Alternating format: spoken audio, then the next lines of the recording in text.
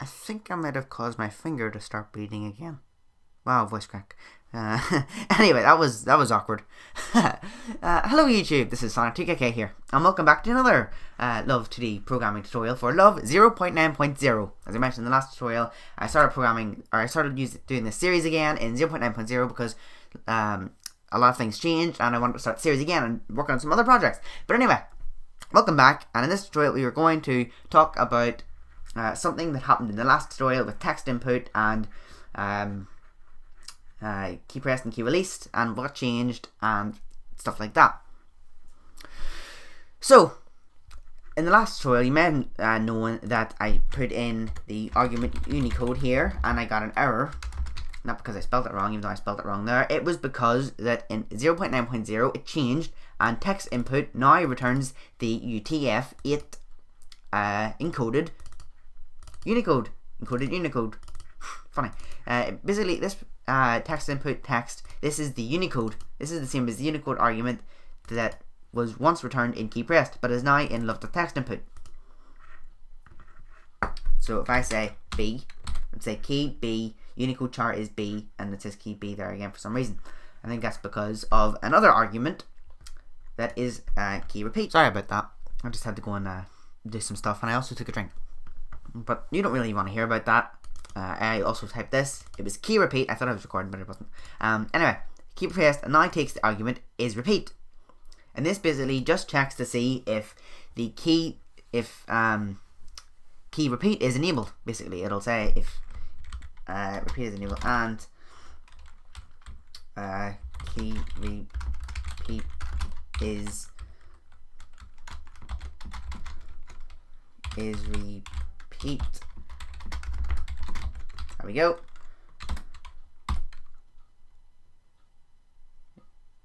Local is repeat uploading. Oh, can't can't need that apparently. Anyway, uh, we'll print it separately then. Print is repeat equals is repeat. We will build this. Why does it not? Oh. If we, why don't we just say this? We'll do this, and we will press keys. False, because key repeat is false. That's what this is, by the way. It's just saying that key repeat is false. Because we have not enabled key repeat. And key repeat, in case you don't know, is basically just setting whether we can hold in a key and it will keep printing it out. So up here what we can say is um, love.keyboard which is uh, love's keyboard module. This is basically how we monitor key input. Like is down will be for uh, if a button is down you wouldn't use key pressed but we'll get into that in a second and then we can say um, set key repeat. I think if uh, in 0.8.0 there's a problem with this but it, it, this has been fixed now as far as I know true. And then if we say, if we press D, loading true, key D, Unicode key is D, I assume. Oh no, that is not right. Um, it's not printing out whether it's repeat or not. Why is it not printing out whether it's repeat?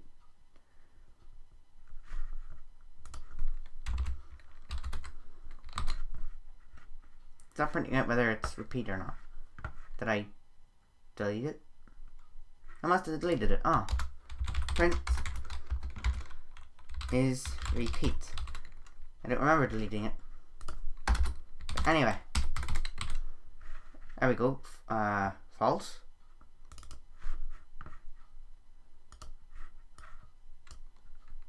Huh. Strange. Hold on. Ah, I found out the problem. This is returning whether the event is, was a key repeat, but key repeat has to be enabled so that this will work. So if key repeat is not enabled, then we can't have a repeat event, but this will return whether we are holding in the key and the key can be repeated.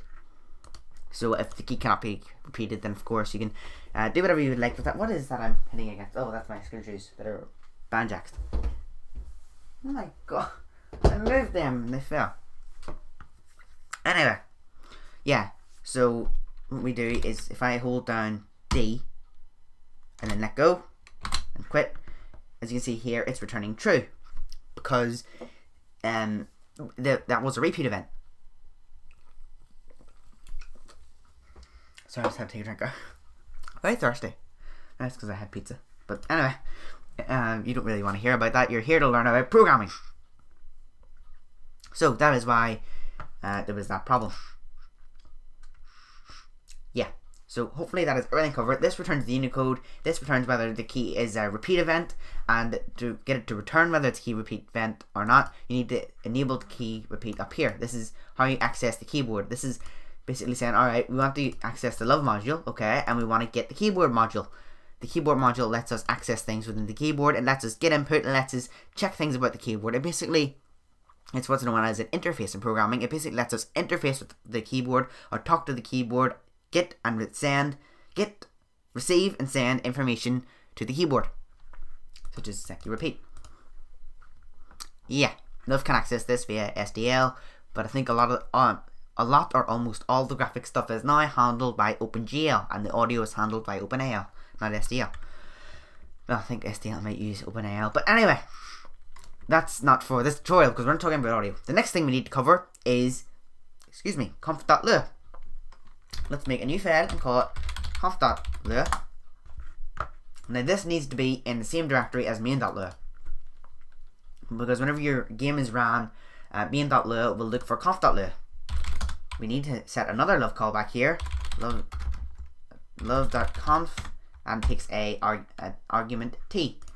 t is basic. I think it stands for table, and this is basically how we access or set all our configurations um, for our Love application. If you can't tell, conf means um, configuration, config, whatever. T dot screen dot width equals uh, 1280 t dot screen dot height equals 720. This will basically make our game 720p. This means 720p. And it might it might just hit the corners of your screen if you're running on a 13 inch uh, laptop. For me, it does, and Love likes the center of the window. But yeah, you can set this to whatever you want. You can set this to any number of values. It doesn't have to be a certain resolution. I mean, say t dot title equals my amazing game in Love 0.9.0 with an exclamation mark since I love my exclamation marks. And it still says untitled. Why does it still say untitled? Maybe it's T dot. I think it is actually T dot window. Yeah, it's T dot window. Yeah, my amazing game and love 0.9.0. This is actually T dot window. It changed from T dot screen. I, I can never remember what one it is. But yeah, it's T dot window now because now Love has a separate module called window. Uh, and that handles all that stuff. So some stuff that would have been in graphics before, such as love.graphics.set mode, is now in love.window.set mode. Love.window.getTitle, love.window.setTitle, love.window.get full screen. There are some uh, methods or functions added specifically to the window module in Love 0.9.0. I think this makes everything more organized. Another thing you want to be able to set is t.resizable equals true it's t dot resize or no t dot window dot resizable. Yes, t dot window dot resizable, and this will basically allow our game to resize. We can resize it like this, boom, boom, boom, boom. And if you're running an OS 10, you can use the full screen button. Hopefully this is still recording. I think it is. So you can full screen and then go like this. You can resize it to any resolution you want. And then here, of course, you can see new window width and new window height. I set back to these. This is this was the resolution whenever I full not full well sort of full screened it to the the whole window. And like I was pretty close to 18 or 800 by 600. Very, very like that was the last one I set. Very very close. I want to try and get as close as possible, but really knowing a lot. But anyway, this is just a few things that you'll want to set in your love.conf. There is a full list of uh, mod or not modules, but a few a full list of everything that you can configure in uh, Love2D, which can be found here. Here you can see function love.conf which takes T, and this is all, you can enable all the modules that you want here. Some of these I don't even understand what they do, but a lot of them I understand. I'm not entirely sure what this does. Standard full screen or desktop full screen mode. Uh, T.window full screen sets full screen. Minimum window width if window is resizable. Min width. So this is basically setting uh, minimum width and minimum height. You can set that to 800 by 600. Here's resizable. Borderless. Borderless is very, very interesting. T dot window dot border. True if it works. Yes, look at this. Look at this. This is like crazy sauce. Like, oh my god. Look at that. That is crazy. Like, look, you can just you can literally lose the window. It's gone. Bam. I just I find that very interesting. It's it's interesting for some games, but then you have to use Command Q or set your own shortcut to close it. You can't disable love that file system is mandatory. Then goes for the love module itself, love that graphics, and love that window need to be enabled. Even though you can like disable this here, I'm not sure why. Uh, yeah. This these were some things that were added in 0.9.1 but you can get all these and you can um, mess about with them see what happens whenever you change some of them. Yeah let's actually mess about with uh, min width and min height. E dot window dot min width equals 800 e dot window dot min height equals 600 and we can't resize it any smaller than that. We can resize it bigger, but we can't make it smaller. And you also can't drag the windows since there's no border. I really don't know how this would look on Windows or Linux, but I assume it would look something similar unless you have something on the screen. Right now it's just a black box. A fun little black box. Yeah, like the physics module, for example, you can disable that. That, I think, will decrease the size of your game, or the uh, overhead of your game, rather uh, any modules you're not using like timer or system if you're not going to use those system modules very interesting. And let you access or interface with a lot of things uh, system uh, specific. Timer uh, I wouldn't I have never used timer nor have I used system but I haven't used love in a long time. Sound never used I don't think. Event we've used. An image we will be using. So yeah it's just a good way to decrease overhead of your game Love.conf is very, very powerful and very, very useful, and you'll be using a lot. Trust me. Let's just make this true. I really, really like these. I actually didn't know these existed until a couple of days ago, but these are awesome. These will save your life. Anyway, that is it for this tutorial. Hopefully you enjoyed it. I will have a link to all the, the pages I referenced in the description, so check them if you would like to see them. And also, I'm working on a website soon, so I'll probably have a link to that in the description if the website is ready.